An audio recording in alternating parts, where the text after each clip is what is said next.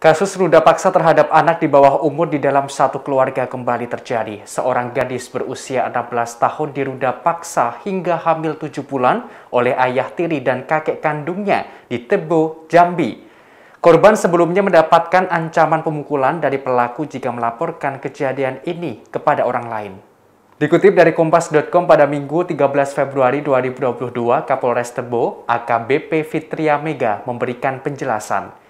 Kedua pelaku adalah ayah tiri korban berinisial HL 42 tahun, sedangkan kakek korban berinisial YY 57 tahun.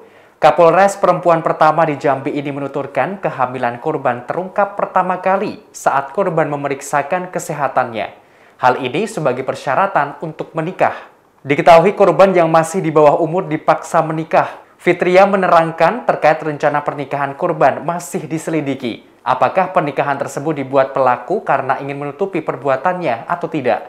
Fitria menjelaskan korban melakukan pengecekan fisik dan kesehatan untuk melakukan vaksinasi. Saat dilakukan screening, ternyata korban dalam kondisi hamil. Ia berujar dari hasil pemeriksaan korban disetubuhi ayah tirinya sejak berusia 12 tahun.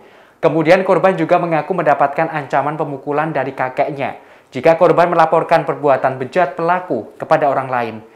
Sementara itu ayah tiri korban HL mengakui perbuatannya dan mengaku kilaf. Hal ini karena ia beraksi saat istrinya sedang tidak ada di rumah. Pelaku HL mengaku hanya satu kali meruda paksa korban pada tahun 2017 lalu. Sedangkan pelaku YY berdalih aksi pencabulan yang dilakukannya merupakan permintaan korban sendiri. Kini kedua pelaku telah ditetapkan sebagai tersangka. Menurut Fitria, kasus ini masih dalam pengembangan dan tidak menutup kemungkinan ada tersangka baru. Atas perbuatannya, kedua tersangka dijerat pasal tentang perlindungan anak dengan ancaman 15 tahun penjara.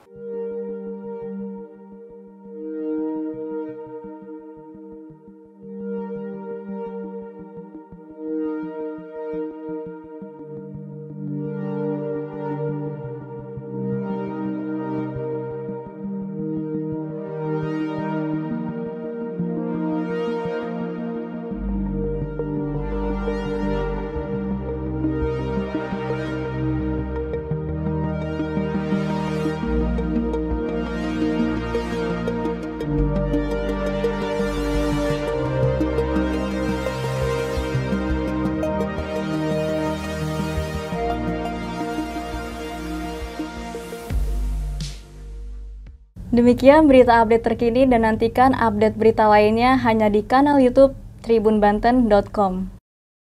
Jangan lupa subscribe, like, komen, dan share.